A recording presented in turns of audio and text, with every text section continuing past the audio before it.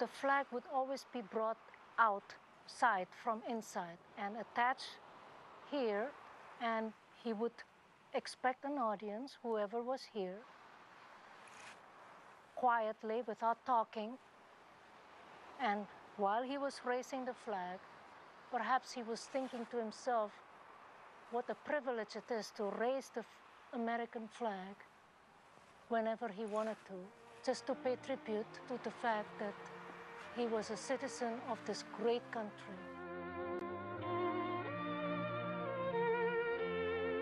He had spent three years touring for the USO, often in very dangerous situations. Heifetz was giving a concert in a field and they were bombed. They had to take cover. So he was in the thick of it. That must have had an impact playing for all of these young men in hospitals. Uh, Heifetz played his best under these circumstances. There was this look on his face that's just indescribable. Well, fellas, for the many thousands of you who've asked for a certain song and a certain great violinist, Command Performance sends you the Ave Maria and Jascha Heifetz.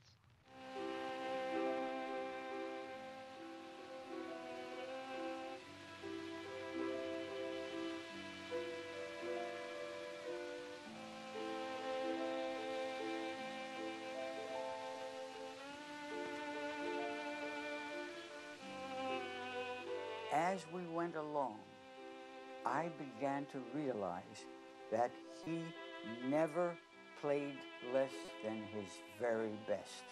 And there'd be 20, 30 dirty soldiers coming in from the front somewhere. He was Heifetz, and he was going to play like Heifetz no matter what. And I thought to myself, oh boy, that's something to learn.